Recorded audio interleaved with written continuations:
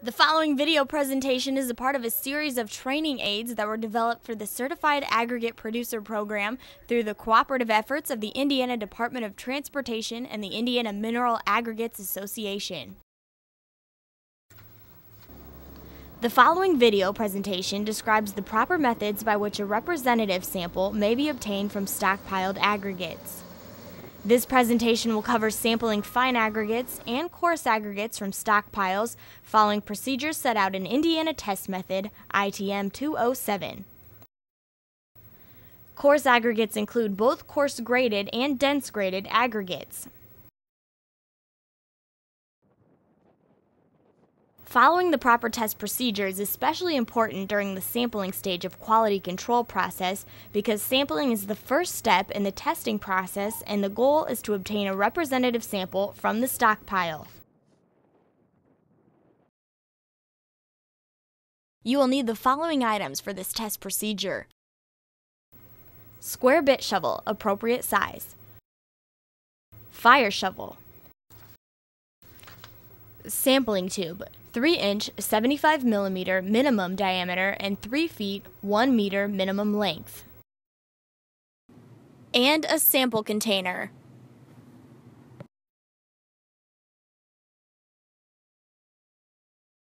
Sampling coarse aggregates from a stockpile.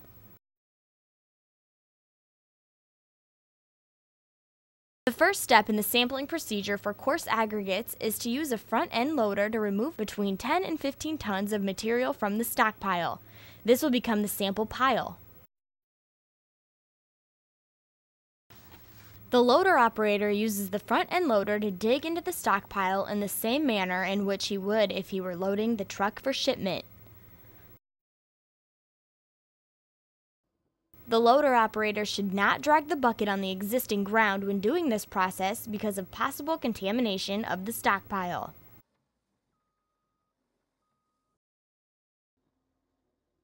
However, when the material is emptied onto the ground to make the sample pile, the bucket should be as low to the ground as possible and then the material rolled by slowly raising the bucket at the same time as the bucket is being emptied. The intent here is to reduce the distance the material is allowed to free fall, which will reduce the amount of segregation that may occur. This will take more than one pass if the loader bucket capacity is less than 10 tons. Each subsequent pass shall be conducted in the same manner as the first pass, and the material will be uniformly placed over the material from the previous pass. The loader operator should also make sure to leave enough room between the sample pile and any other obstructions so that the sample pile can be mixed from all sides. Once the loader operator has laid out enough material, the next step is to thoroughly mix the sample pile. At this point, the sample pile will typically have an oblong shape.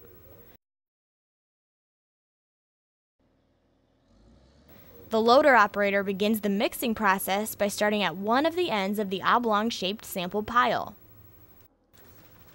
The bucket is lowered to the ground but not scraping the ground, and the bucket is pushed into the sample pile until the bucket reaches the midway point of the pile. Then the bucket is slowly raised and that end of the sample pile is smoothly rolled.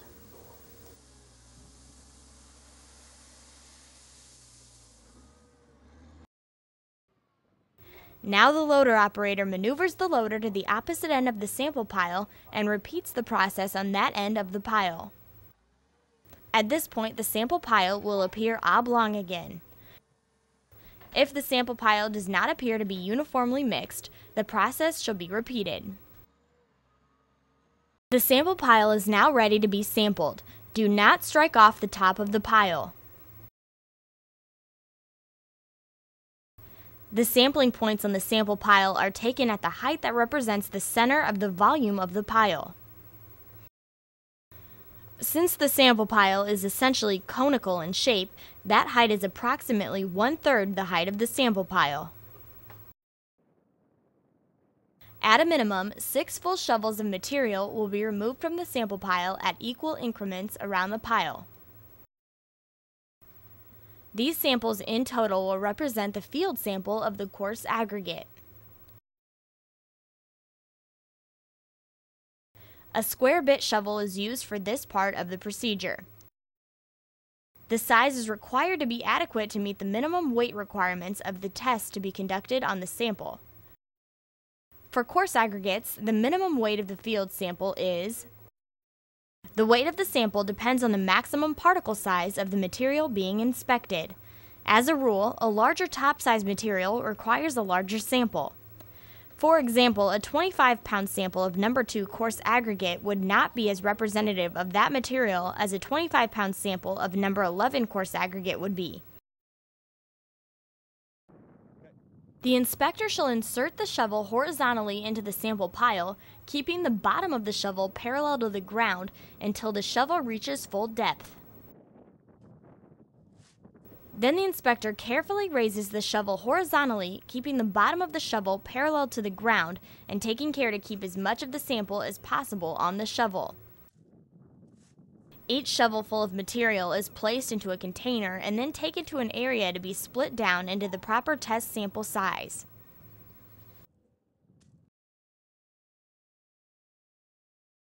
Fine aggregates are sampled from stockpiles in much the same way as coarse aggregates are sampled from stockpiles. However, instead of the square bit shovel, either a fire shovel or a sampling tube is used to remove the material from the sample pile.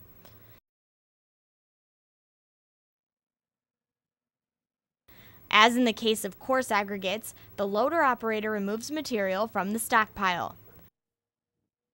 That material is rolled out onto the ground and then mixed using the rolling action as described earlier. Once the sample pile is prepared, the technician retrieves the samples from the sample pile. Here, the technician uses a fire shovel to retrieve the samples. The technique is the same as the square bit shovel. Here is a view of the technician using a sampling tube to retrieve the sample. In either case, the samples are dispensed into a container and then taken to an area to be split down to the proper test sample size. The sample size must be adequate to meet the minimum weight requirements of the test to be conducted on the sample. All fine aggregate samples are required to be a minimum of 25 pounds.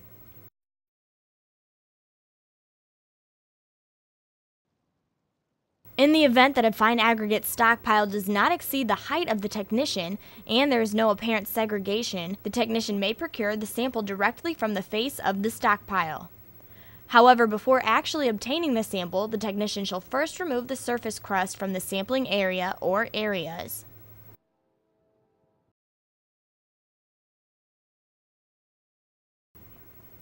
Under no circumstances shall a technician ever obtain a sample by climbing onto the stockpile. Additionally, technicians shall always keep a safe distance from any stockpiles with over-steepened slopes. Aggregate sources fall under the jurisdiction of the Mine Safety and Health Administration, or MSHA, and are subject to very stringent safety rules. Please remember to check in at the mine office for specific safety instructions before continuing on to any mine property.